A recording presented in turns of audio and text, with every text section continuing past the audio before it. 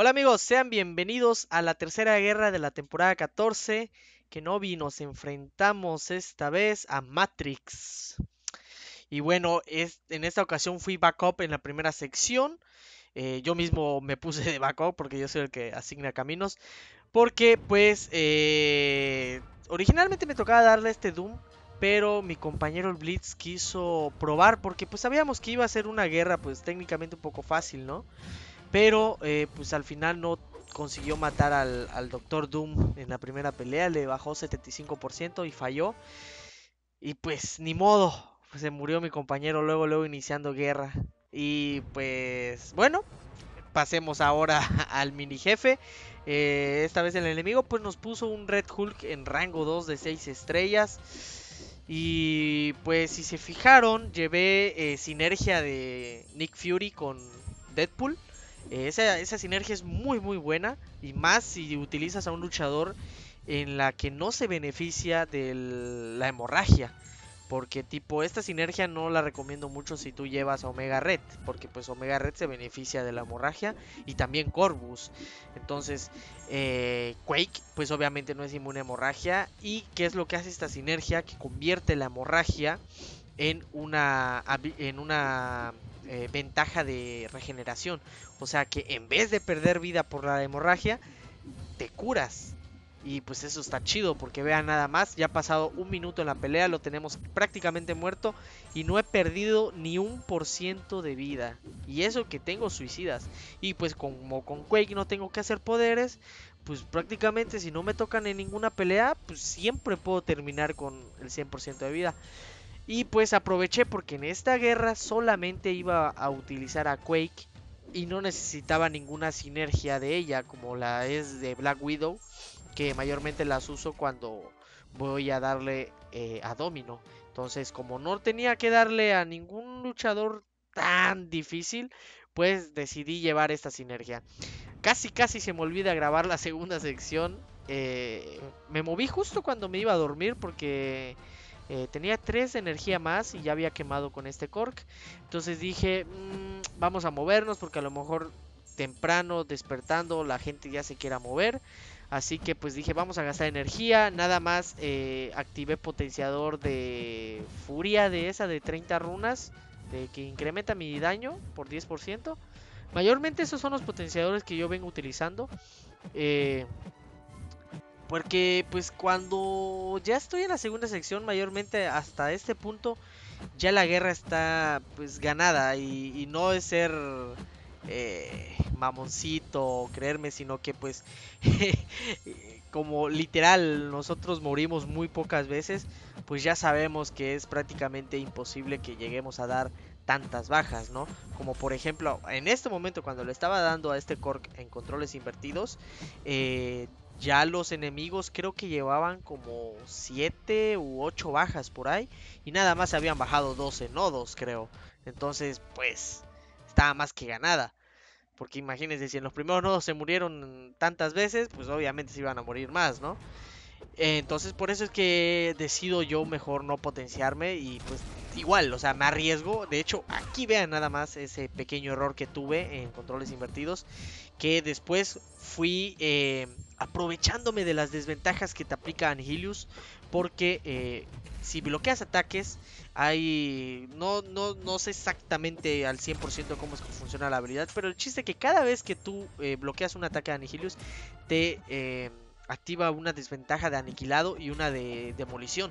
Entonces, esos cuentan como desventajas y por lo tanto te curas con la maestría de voluntad si la tienes activa. Y vean nada más como me logré curar de 75% que me bajó más o menos y pues logré hasta 87% de vuelta entonces dije bien estamos de vuelta en la jugada mm, después de ese error no hay problema pude pude recuperar un poco de vida no y bueno ahora sí pasemos al día siguiente como me tocaba darle a subjefes utilicé igual el de 10% de el verde no el de daño y vida porque eh, pues los, los subjefes suelen tener obviamente más vida, entonces se tarda uno más en bajar a los a los subjefes, ¿no?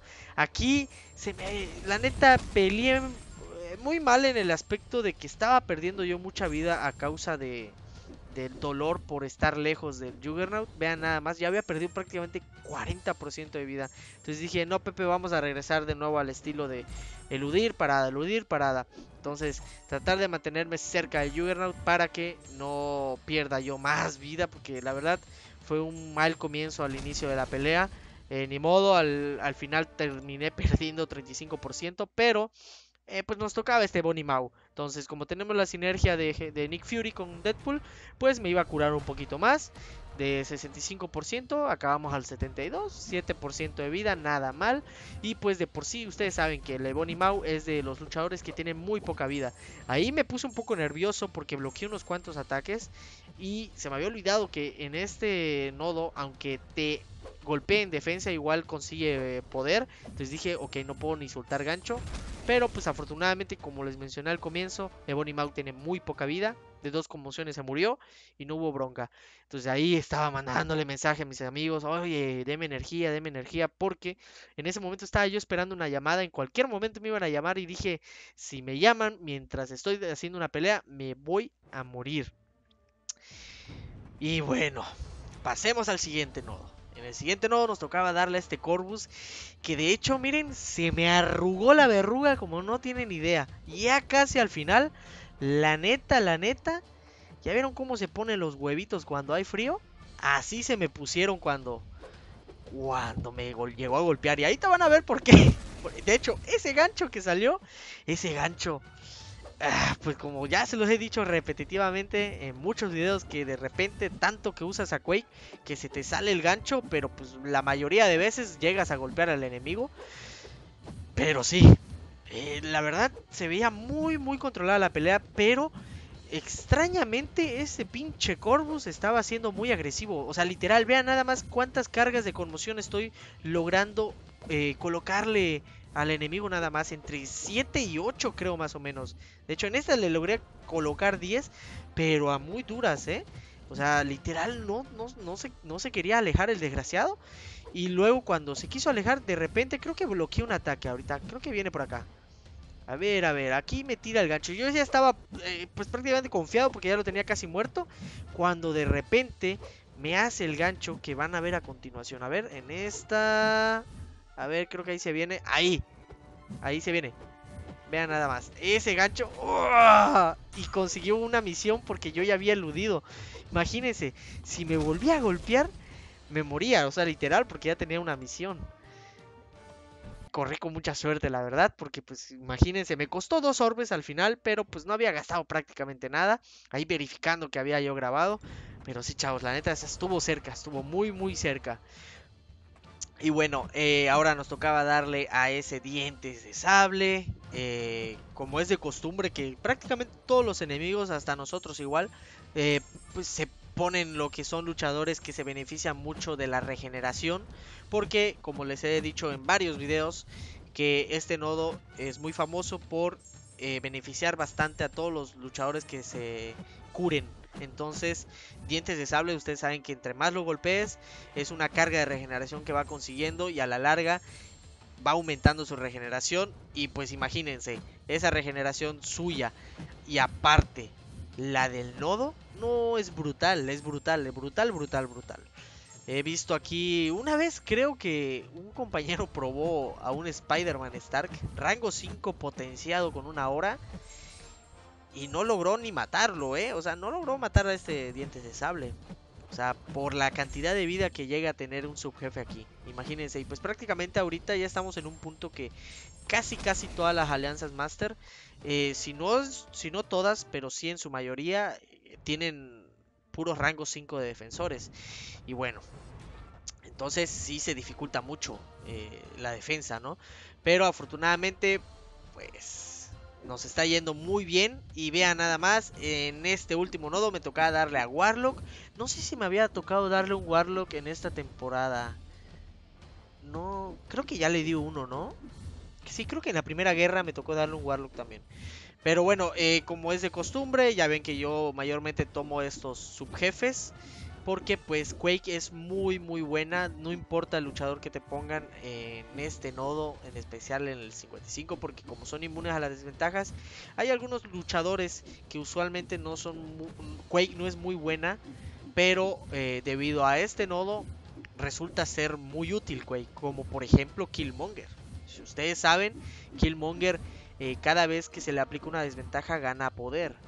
Entonces conmoción cuenta como una desventaja, entonces consigue acopio de poder el Killmonger, pero como en este nodo es inmune, entonces prácticamente es como un luchador normal y puedes quakear como si nada, ¿eh? Entonces, eh, ese es un ejemplo. Puede que haya otro, pero tendría que indagar mucho y pues la verdad que pereza, ¿no?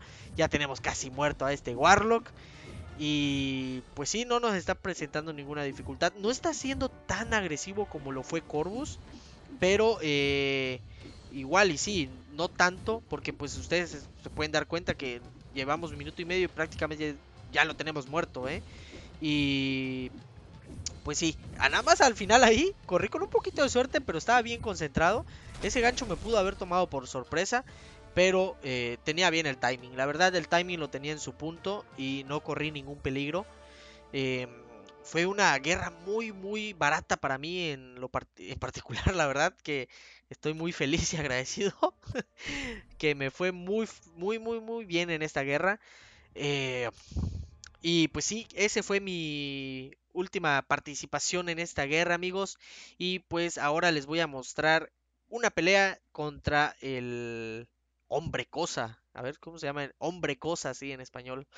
Eh, mi compañero el que Peñate eh, le iba a dar a su jefe, le tocó darle a un, un hombre cosa de 6 estrellas duplicado, vean nada más, con su Omega Red. Y pues me pidió que, que lo mostráramos aquí, que fue una muy buena pelea. Y pues claro que sí, vamos a, a enseñarle a todos ustedes para que vean que no solo el Blitz es una, es una bestia, igual el chamacón este. Aunque vamos a ver si tiene dispersión el enemigo, ¿eh?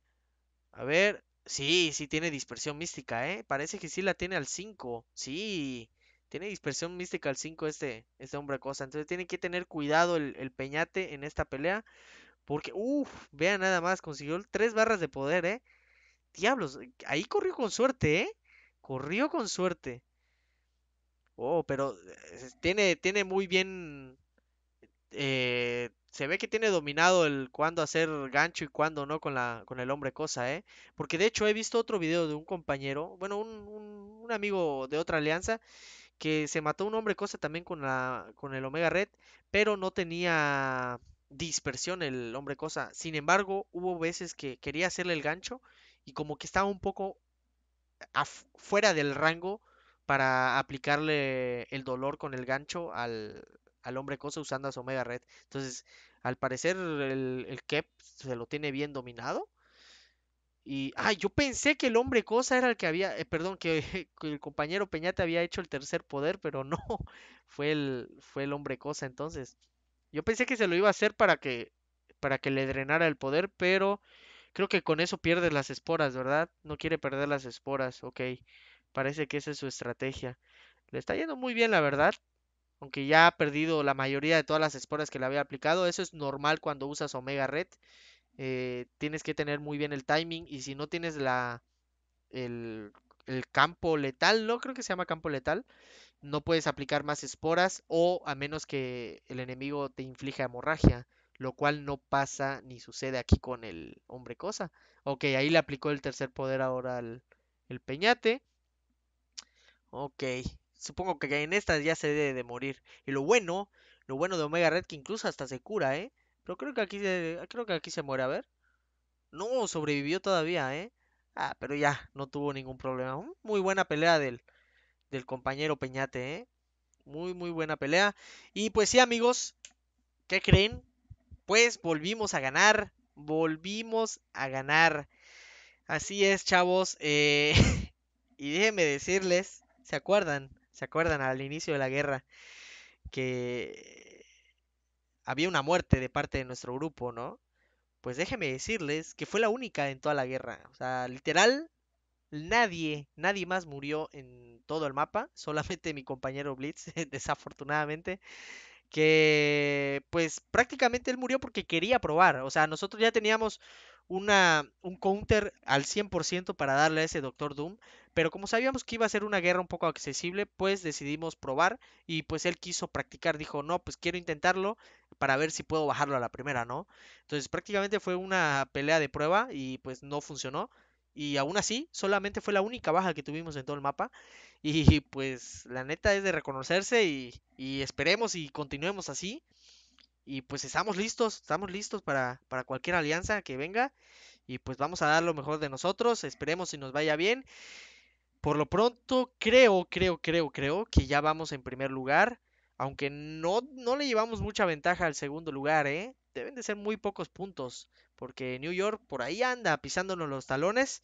Así que pues a ver cuándo nos tocan. Debe de ser pronto, ¿eh? Debe de ser pronto que ya nos debe de tocar. Chance esta semana que viene. Y pues se vienen muy muy buenas guerras amigos. Esta semana la concluimos perfectamente. Vamos con cero, cero derrotas. Y esperemos continuar así, ¿eh? Esperemos continuar así. Y pues ya saben que si les gustó este video, amigos, le pueden dejar su like, pueden suscribirse si no se han suscrito y activar la campanita para que YouTube les avise cada que yo suba video. Igual dejen en la cajita de comentarios qué tal les parecieron las peleas, qué, qué tal estuvo igual la pelea de, de nuestro compañero el Peñate, que de hecho si quieren ver su video luego lo van a andar subiendo me imagino a su canal, ahí lo pueden checar también. Y pues sí, eh, ya se viene eh, la temporada, perdón, el, aniversario de Kabam y todo, eh, se vienen buenas, buenos premios, ¿eh? ¿eh? Así que preparen, preparen sus, sus runas para andarme regalando unos cristales de, de esos de Kang, ¿no? no se crean, es broma. Y pues sí, amigos, ya saben, si les gustó este video, pues compártalo igual, ¿eh? Nos vemos en el siguiente. Bye.